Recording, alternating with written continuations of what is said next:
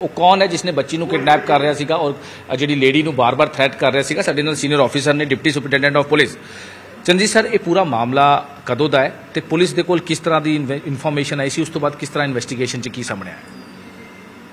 ਇਹ ਕੱਲ ਦੁਪਹਿਰ ਨੂੰ ਕੋਈ 2 ਵਜੇ ਪੁਲਿਸ ਕੰਟਰੋਲ ਰੂਮ ਤੇ ਇਤਲਾਹ ਮਿਲੀ ਕਿ ਇੱਕ ਲੇਡੀ ਨੂੰ ਫਲਾਵਰ ਮਾਰਕੀਟ ਸੈਕਟਰ 35 ਦੇ ਵਿੱਚ ਕੋਈ ਪ੍ਰੋਬਲਮ ਹੈ।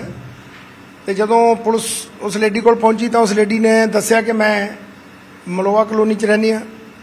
ਔਰ ਮੈਂ ਸ਼ਾਦੀशुदा ਹਾਂ। ਮੇਰੀ 5.5 ਸਾਲ ਦੀ ਬੱਚੀ ਹੈ ਔਰ ਮੈਂ ਇੱਕ ਅੰਕਿਤ ਨਾਂ ਦੇ ਬੰਦੇ ਦੇ ਨਾਲ ਪਿਛਲੇ 5 ਸਾਲ ਤੋਂ ਲਿਵਿੰਗ ਚ ਰਹਿ ਰਹੀ ਹਾਂ।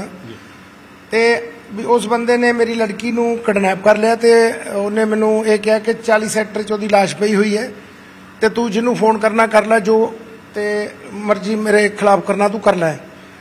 ਇਹ ਇਮੀਡੀਏਟਲੀ ਬੜਾ ਸੀਰੀਅਸ ਨੇਚਰ ਦਾ ਮਾਮਲਾ ਹੋਣ ਕਰਕੇ ਇਮੀਡੀਏਟਲੀ ਸੈਕਟਰ 36 ਥਾਣਾ ਦੀ ਪੁਲਿਸ ਔਰ ਮਲੋਆ ਥਾਣਾ ਦੀ ਜਿੱਥੋਂ ਲੜਕੀ ਨੂੰ ਕਿਡਨੈਪ ਕਰਿਆ ਸੀ।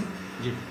ਦੋਨਾਂ ਥਾਣਿਆਂ ਦੀ ਪੁਲਿਸ ਹਰਕਤ ਵਿੱਚ ਆਈ ਔਰ ਇਸ ਨੂੰ ਸੀਨੀਅਰ ਅਫਸਰਾਂ ਨੇ ਵੀ ਸੁਪਰਵਾਈਜ਼ ਕੀਤਾ ਕਿਉਂਕਿ ਲੜਕੀ ਦੀ ਲਾਈਫ ਦਾ ਸਵਾਲ ਸੀ। ਜਲਦੀ ਨਾਲ ਇਸ ਅੰਕਿਤ ਦਾ ਪਿੱਛਾ ਕੀਤਾ ਗਿਆ ਔਰ ਪਤਾ ਲੱਗਿਆ ਕਿ ਜਦੋਂ ਸੈਕਟਰ 40 'ਚ ਪੁਲਿਸ ਪਹੁੰਚੀ ਤਾਂ ਉੱਥੋਂ ਇਹ ਲੜਕੀ ਨੂੰ ਲੈ ਕੇ ਅੱਗੇ ਦੌੜ ਗਿਆ। ਫਿਰ ਇਸ ਦੀ ਅਸੀਂ ਭਾਲ ਕੀਤੀ ਤਾਂ ਇਹ ਸੈਕਟਰ 25 ਦੇ ਵਿੱਚ ਇਹ ਜਿਹੜੀ ਊਸ਼ਾ ਨਾਮ ਦੀ ਲੜਕੀ ਹੈ ਲੇਡੀ ਹੈ ਜਿਹਨੇ ਸ਼ਿਕਾਇਤ ਕੀਤੀ ਸੀ ਪੁਲਿਸ ਕੋਲ।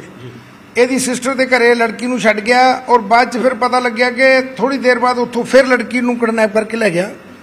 ਔਰ ਜਦੋਂ ਇਹਨੂੰ ਪਤਾ ਲੱਗਿਆ ਕਿ ਪੁਲਿਸ ਨੇ ਮੈਨੂੰ ਹੁਣ ਘੇਰਾ ਪਾ ਲਿਆ ਤੇ ਲੜਕੀ ਨੂੰ ਇਹ 25 ਸੈਕਟਰ ਛੱਡ ਕੇ ਭੱਜ ਗਿਆ ਤੇ ਪੁਲਿਸ ਦੀ ਮੁਸਤੈਦੀ ਨਾਲ ਹੁਸ਼ਿਆਰੀ ਨਾਲ ਲੜਕੀ ਨੂੰ ਇਮੀਡੀਏਟਲੀ ਜਿਹੜਾ ਕਿ ਸੇਫ ਬਚਾ ਲਿਆ ਗਿਆ। ਤੇ ਫਿਰ ਲੜਕੀ ਦੇ ਮਦਰ ਦੇ ਬਿਆਨਾਂ ਤੇ ਅਸੀਂ ਇਹਦੇ ਖਿਲਾਫ ਕੱਲ ਕਿਡਨੈਪਿੰਗ ਦਾ ਪਰਚਾ ਦਰਜ ਕੀਤਾ। ਔਰ ਕੱਲ ਤੋਂ ਹੀ ਇਹ ਭੱਜਿਆ ਹੋਇਆ ਸੀ। ਅੱਜ ਅਰਲੀ ਇਨ ਦਾ ਮਾਰਨਿੰਗ ਅਸੀਂ ਇਸ ਨੂੰ ਜਿਹੜਾ ਕਿ ਅਕਿਊਜ਼ਡ ਅੰਕਿਤ ਹੈ ਇਸ ਨੂੰ ਗ੍ਰਿਫਤਾਰ ਕਰ ਲਿਆ।